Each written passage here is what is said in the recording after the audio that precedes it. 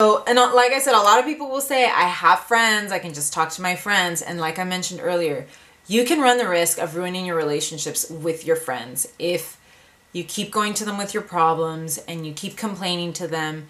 And also, to your friends are are are they're biased. They're, if you tell them, "Oh, this dude did this to me," and blah blah blah, they're gonna agree with you and they're gonna say, "Yeah, that guy's a jerk," blah blah blah. You know, whatever. And they're not they're not going to be honest with you. They're they're not going to tell you, you know, oh, well you should have done this or what. You need an unbiased person. You need a counselor that is, you know, neutral that doesn't really know you um, in your past so that they can give you sort of an unbiased opinion about what is happening in your life. So, you know, your your friends are there for support. It's good to have friends and it's good to talk to your friends, but unfortunately, they are not going to be able to provide you know a professional level of support. They're not going to be able to tell you how to cope. They're not going to be able to train you to to to give you coping skills or give you ideas to cope with your issues. They're not professionals. And also your friends have their own sets of issues. You know, your friends have you know all kinds of problems. Their perception is going to be um, skewed.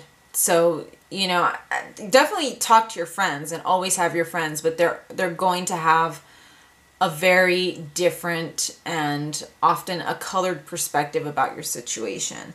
And you don't want to ruin those friendships because it does get to the point and I do know people that have just worn their friends down. I've been worn down by friends in the past that come to me and you know, they, they just spend hours on the phone just whining and complaining about something. They refuse to listen to you about with your issues, but they will go on and on. So you can really damage your friendships um, by using them as your therapist. So I highly, highly recommend you find a professional. You know, go to your friends for certain things, but find a professional to help you, you know, with the big stuff, especially if you see that your friends are distancing from you or you know they're just not answering their phone anymore or they're they're not calling you you know then you might be wearing them down or they just may feel helpless um, when it comes to helping you. So you really have to consider how um, that's going to affect your um, your relationships. Um, the next one uh, is very very common but a lot of people don't really know uh, really what's behind it and it's denial. And denial is probably i think it's probably one of the top reasons that people won't go to therapy because they they either haven't accepted that they have a problem or that or that there is a problem. But the second thing that can happen and this is is very common with people that have um, legitimate uh, chemical imbalances in their brain is that they are not able to see their issues.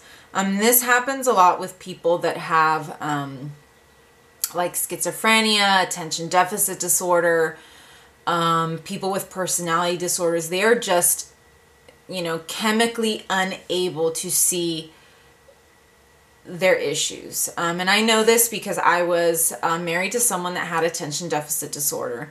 And there is there are specific brain chemicals that come into play um, that make you self-aware and and people with attention deficit deficit disorder lack those brain chemicals um, and they are literally unaware of their own behavior they have no clue when they're coming across um, as being obnoxious or rude or loud they're just completely unaware and there are some people you know we all have that to a certain extent. We we are all to to in some way unaware of our behavior because we've been we've been ourselves our entire lives, so we don't know any other way to be. Um, so we all deal with this, but as we get older and we mature, you know, our brains develop, and you know, we're able to see. You know, oh my God! You know, I drank too much at the company party and I acted like an idiot.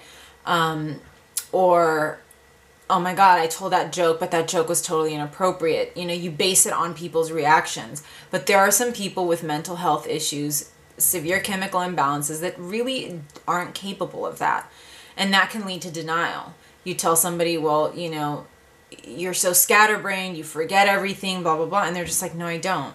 No, I don't. I'm fine. No, I don't. And that's because they truly cannot see that. But then there are other people that just refuse to accept the fact that they have a problem. Um, and, and that's because they, they either don't want to appear flawed or they, they don't like being wrong or they, they just, they're not at a place yet. Like I mentioned earlier, they're not at a place where they've lost everything yet. So they're not ready to accept that that they have a problem. So that's good old fashioned denial. And then there's, you know, chemically imbalanced denial where you, you truly cannot see that there's something wrong. And I think that's probably one of the primary reasons people will not get help. Um, so next is, and th- this, this I think also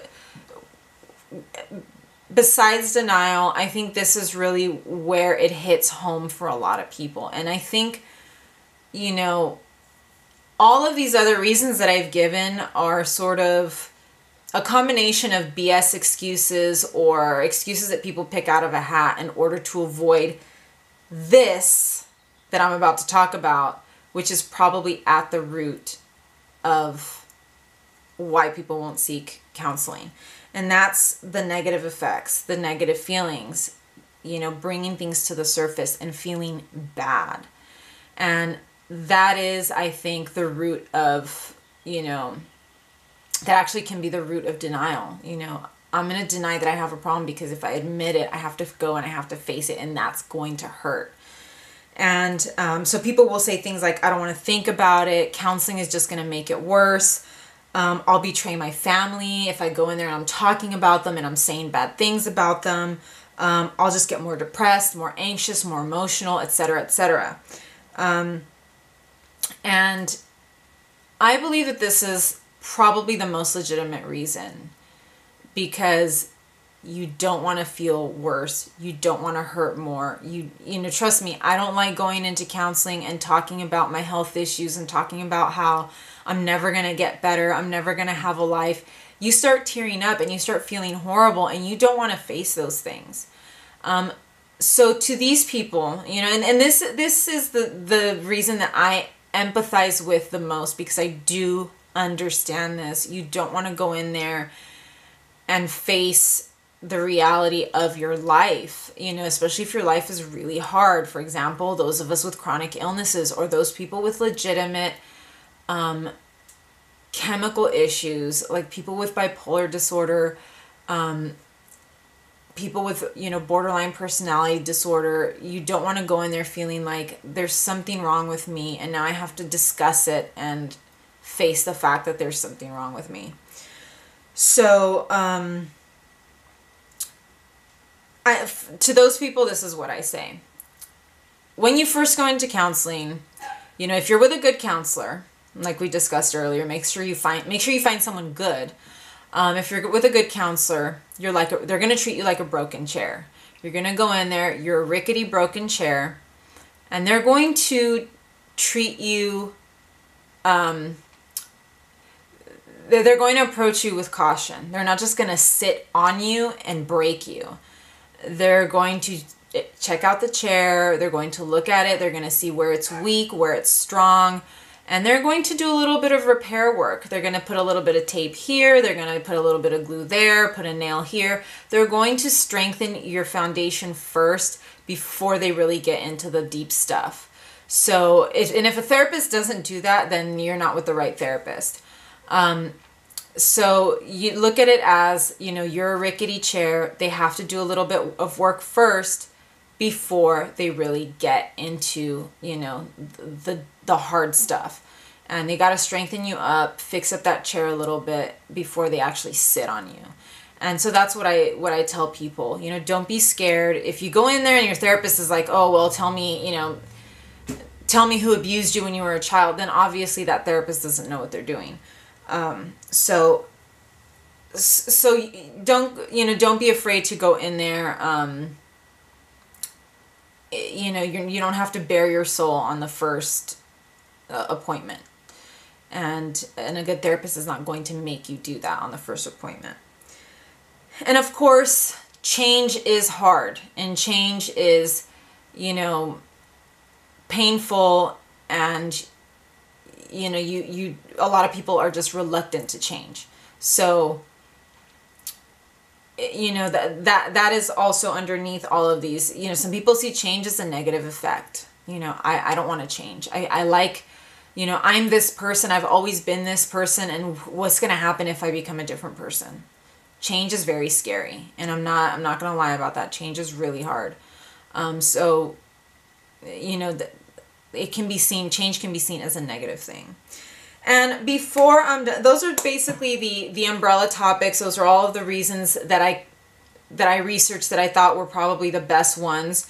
Um, but there are specific challenges for men, and I'm just going to go through this really quick. Um, if you are a guy, uh, guys face their own. You know, I could probably do a whole uh, vlog on just men and and therapy and that kind of thing. But the specific things that men um, face when it comes to therapy um, and, and not wanting to go is basically they're supposed to be problem solvers. We know that. Men are supposed to be problem solvers. They're supposed to be able to fix their issues without any help.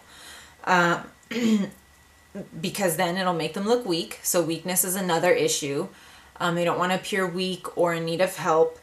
Um, pride, machismo. Culturally, um, you know, I know Hispanic men have a really difficult time uh, getting in to see therapists. They would rather just deal with it, you know, substance abuse, you know, alcoholism, drug use, that kind of thing, because, you know, we're tough guys. We, we don't talk about our problems. We just, you know, we're, we're, whatever, we're strong enough to deal with it, which no one is. If you're a human being, no one is strong enough to deal with these huge issues on their own.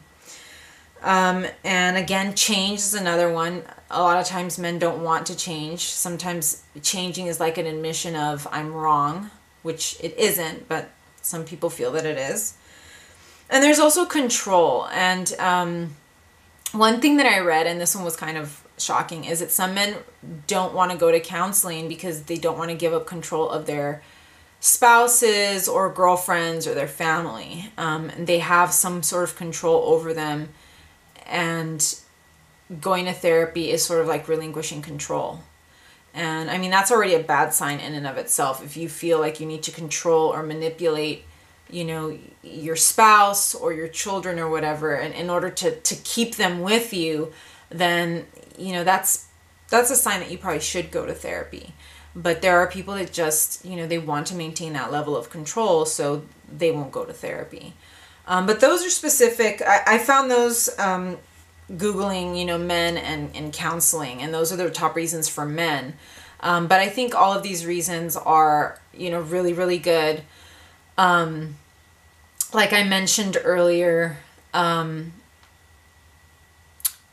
if if you are a chronically ill person, I, I, I believe that therapy is just it, it can be the difference between, you know, living a better life and just living and just living. Um, it's helped me a lot, even if I've been with counselors that weren't really that great. It has helped me, and I think it's kept me, um, it's kept me going. To be honest, I I think if I didn't have a counselor, I probably wouldn't be here today. And I, for those of us that are sick, I definitely definitely recommend it. But anyways, I've gone on too long. Um, but thank you so much for being with me for this, for my first, you know, uh, experimental vlog. Um, like I said, this has been split into two parts. The other part is probably going to be, you know,